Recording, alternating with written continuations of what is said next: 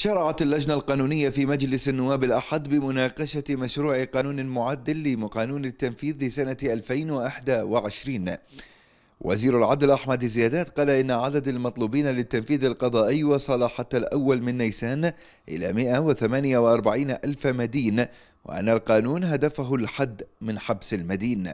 موضوع الائتمان إحنا عندنا الآن ائتمان إلى حد ما ائتمان كبير.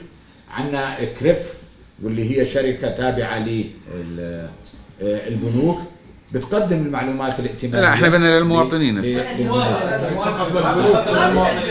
هلا. هلا للمواطن هون. نعم. هلا اللجنة احكي لهم شو بتعملوا قاعدين هسه. اللج- اللجنة التي آه، شكلت وضعت بدائل ومنها تمكين المواطنين بالحصول على هذا المعلومات ال... الائتمانية لأي شخص ممكن يعني قبل. الثلاث سنوات راح يكون هذا النظام جاهز وصادر وهذا راح يكون كله جاهز قبل ما ينفذ هذا القانون لأنه ال- بالتوازي- بالتوازي.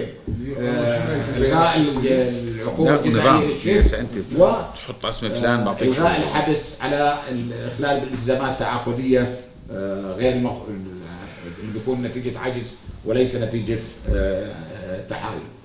فبذلك الوقت راح يكون في نظام ائتمان وراح يكون في أيضا بدائل أخرى غير المعلومات الائتمانية آه، متوافرة حتى الناس تقدر آه، آه، تبرم عقودها وهي مطمئنة لمن يتعامل آه، معهم. رئيس اللجنة القانونية المحامي عبد المنعم العودات أكد أن مشروع المعدل لقانون التنفيذ يحقق توازنا ما بين الدائن والمدين وصولا لتحقيق العدالة لجميع الأطراف والحد من حبس المدين بوجه عام وفي بعض الحالات أيضا والتي يمكن أن تترتب عليها آثار اجتماعية وسلبية وضرر بأفراد عائلة المدين. أمر الدفاع. صار سنتين موقوف الحبس. وموجب أمر الدفاع. وصارنا سنتين يا ابو هيثم خلينا نحكي على بكل صراحة.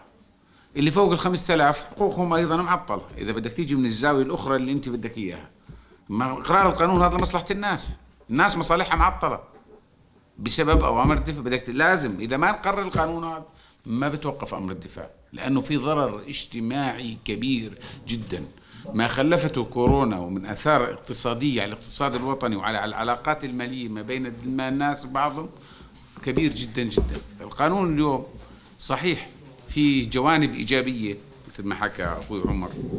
في جوانب عليها ملاحظات ينظر إليها أنها قد تشكل خطرا بالمستقبل اللي هي فيما يتعلق بالعلاقة العقود. هاي العقود نفاذها بعد ثلاث سنوات أبو هيثم مش اليوم. في هذه المادة التي أنت تتحدث عنها.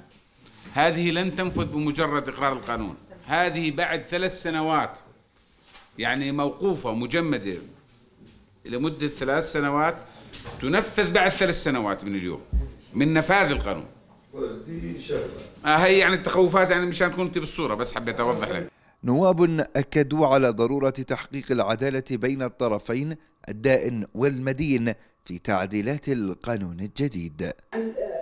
طيب ما هي انت انت فتحت باب أو شق آخر انه اول شيء هذا المستأجر بده يطلعه برا بده يرمي برا. هذا هو النقطه، النقطة الثانية تتغلب بالحصول على الإيجار. رح يكون في مشكلة كبيرة جدا بعملية التأجير. يعني آه، حتى راح يشدد بقضية إني أنا ما اجرب إلا لما تجيب كذا وتجيب كذا وتجيب يعني يضطر صاحب الملك بأنه يشدد من إجراءاته وهذه برضه فيها إشكالية. بس أنا في في في أمور ماليه أو أنا رحت على تاجر وأخذت من عنده بضاعة. ما عندي كان المقدرة إني أسده. هو بده يتحمل مسؤوليته بس أنا بس أنا بدي أفرق عن واحد أجرته بيتي. لأنه أنا أنا دا أنا ممكن هذا يكون المالك هو قوت عيشه من هلا من الاجار اللي بيجي. إذا بكرة بده ما بحس ال- ال- ال- المستأجر مثلا على سبيل المثال إنه هذا ما بده ما, ما في حبس ما في حبس أو ما في خوف من شيء أو عقوبة رادعة إنه ما يدفع التزاماته. بكرة الكل ببطل يدفع التزاماته.